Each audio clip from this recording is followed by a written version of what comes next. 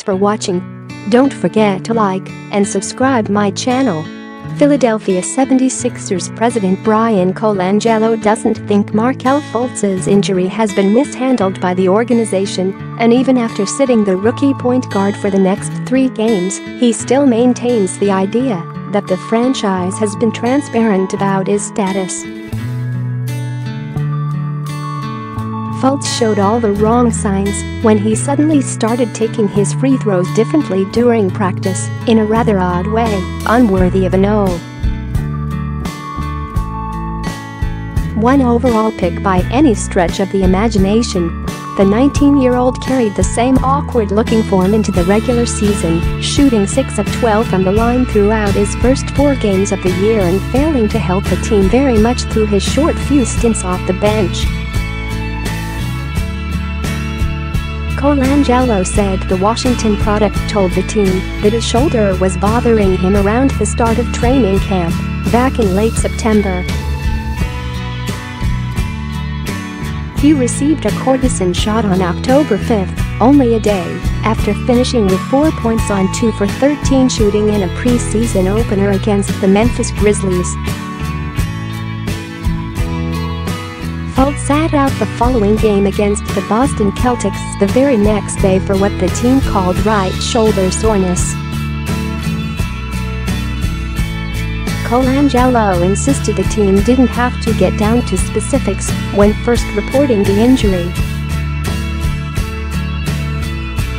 We don't necessarily report every single thing we do medically to players, Colangelo said of not disclosing the cortisone shot, according to Keith Pompey of the Philadelphia Inquirer. There's a lot of things that happens in a training room and doctor's office that, if you want to know, I had my knee drained and a cortisone shot put in last week, I didn't report it because I didn't think it was necessary.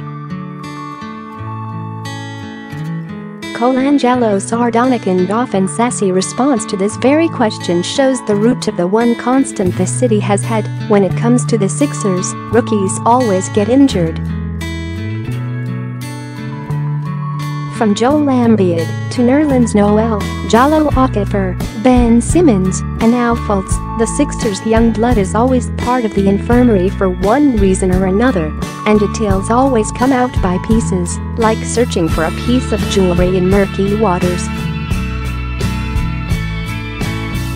Fultz's agent Raymond Brothers first told ESPN his client had his right shoulder drained. And that he couldn't put his arms up hence the awkward-looking free throw motion fans have now become accustomed to see.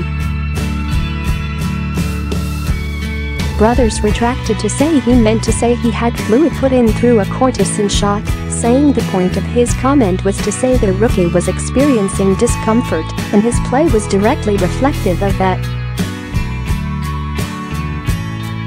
I think we have been transparent, Colangelo said. I don't know what prompted the comment by the agent to the report last night. We did have a communication about it after that. But again, there's a lot of things that go into the noise that's out there.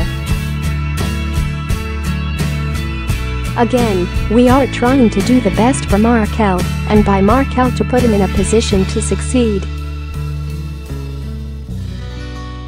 Brothers said Fultz insisted on wanting to help his team by coming off the bench, but wisdom cautions why the organization would take the risk at him sustaining further injury on the court by playing him in the first place. If Colangelo knows, he already feels transparent. Thanks for watching. Don't forget to like and subscribe my channel.